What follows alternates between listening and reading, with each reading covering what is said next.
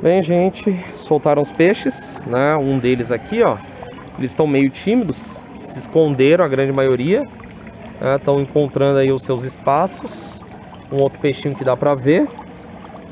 Certo? Então o processo hoje foi bem, eles soltaram bem devagarzinho, né? Bem na calma.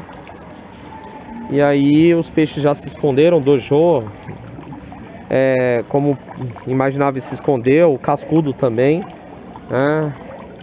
Então é isso.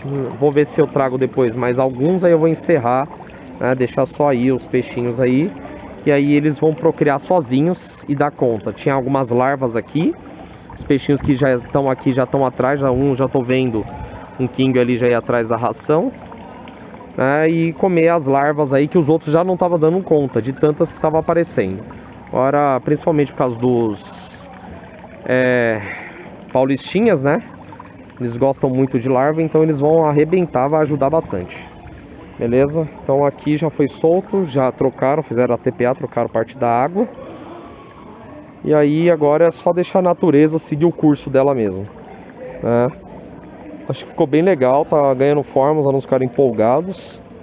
E o projeto tá caminhando aí. Né?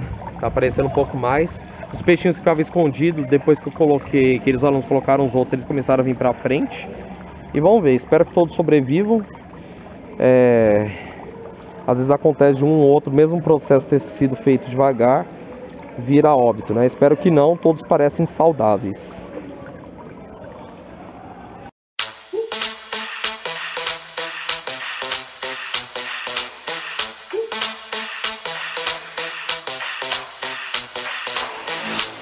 When I see you dancing, I'm like, hola, hola, hola, hola.